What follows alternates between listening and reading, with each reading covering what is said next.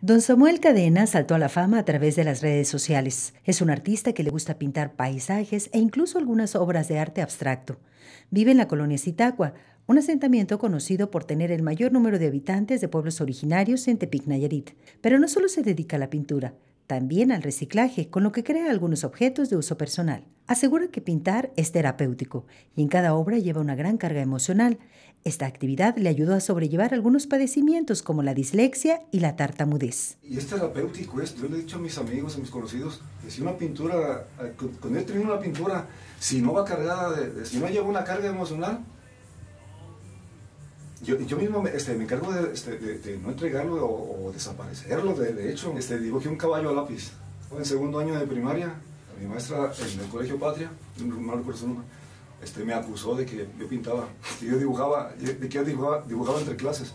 Y el castigo fue eh, eh, ir a un concurso de dibujo. Era tartamudo hasta los 15, 16 años. Me diagnosticaron dislexia, porque yo cuando, cuando hacía mis deberes, o cuando hacía las tareas, mi maestra me decía, este, todo el mundo hizo bien la tarea.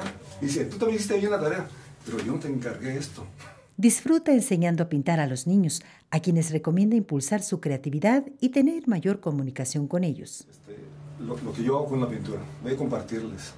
Pasaron unos niños aquí del barrio este, hace, hace dos años. uno de los niños me dijo, ¿nos enseña a pintar? Eh, quedamos vinieron seis niños.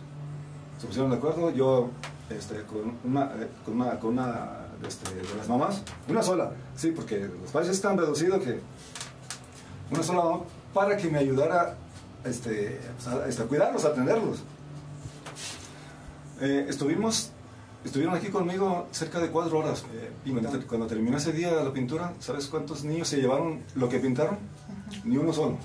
Es muy necesaria este, esa, esa simple comunicación, sobre todo con los, con los niños creativos. Desde hace 20 años está escribiendo un libro que se llamará El título pendiente, en el cual plasmará reflexiones y aprendizajes, así como su andar por la vida, pero también espera ser reconocido internacionalmente por sus obras, las cuales no pretende vender, sino regalar a quienes muestren pasión por el arte.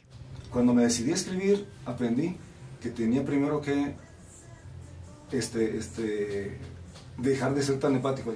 Pero conforme fue pasando el tiempo y conforme fui teniendo eh, vivencias como la de los niños que les acabo de platicar, eh, llegué a la simple conclusión personal, este, a, la, a, la, a, la, convicción de que ese libro no lo voy a vender, lo voy a regalar a mis mejores amigos y a las personas que sean capaces eh, a las personas que, este, que, hagan algo, que, estén haciendo algo por, este, por la humanidad, hombre. Cuando llevaba una semana escribiéndolo, juntando las, este, sí, las, hojas sueltas, este, y como no se me ocurría nada, escribía, escribía al inicio, título pendiente. Y se fue, y se quedó un título pendiente. Con sentido común, Lorena Elizabeth Martínez.